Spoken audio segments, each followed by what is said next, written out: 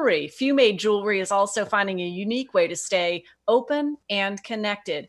Few Made offers beautiful pieces designed and handcrafted locally. The jeweler is hosting a virtual trunk show on Facebook Live. It's happening tomorrow evening from 7:30 to 8:30 p.m. on their Facebook page just in time for Mother's Day. Hint, hint, hint, hint, hint, hint. or if you're in need of a pick me up, you know, to take care of yourself. Few Made will be previewing new jewelry designs and sharing great gift ideas.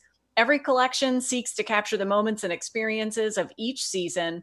Owner and artist Kina Treadway says that she's finding lots of inspiration right now the pandemic has been so disruptive, but I've taken the time to work on a new collection expressing some of what I've been feeling, and I'll be bringing that collection to the trunk show.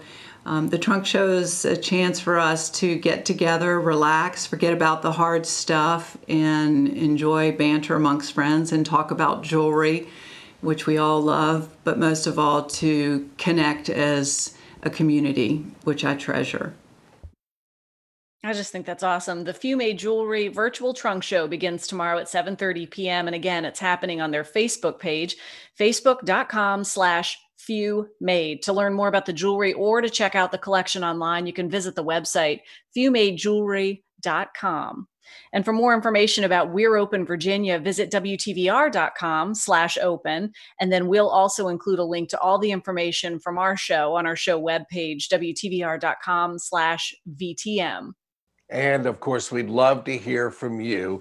If you have a story we can share on We're Open Virginia, please email Virginia this morning at WTVR.com.